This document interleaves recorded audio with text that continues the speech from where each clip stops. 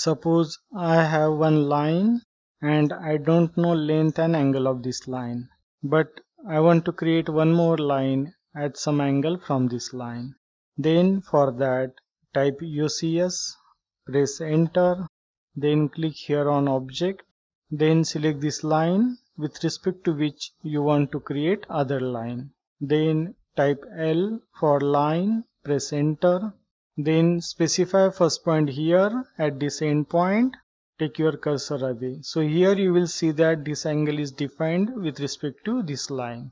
Then here at first you will have to specify your length. Suppose it is 1300 then to specify angle press tab and specify your angle and press enter and press enter to stop line command. So we can check this angle. For that click here on this arrow and click here on angle then select this line and this line.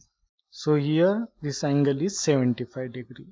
Press escape. Same way suppose I want to create one line at 90 degree to this line at some distance from this point. Then that is also possible using this concept. Again we will type L for line press enter then take your cursor to this end point and take your cursor on this side. So here you will see that it is tracking that point for tracking you will have to keep this object snap tracking on then only it will track that point. Then you will have to specify distance from our selected endpoint suppose it is 400 then press enter then take your cursor on this side.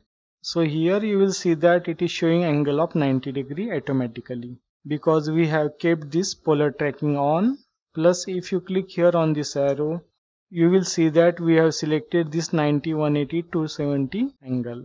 Click outside then take your cursor on this side then specify length and press enter and press escape.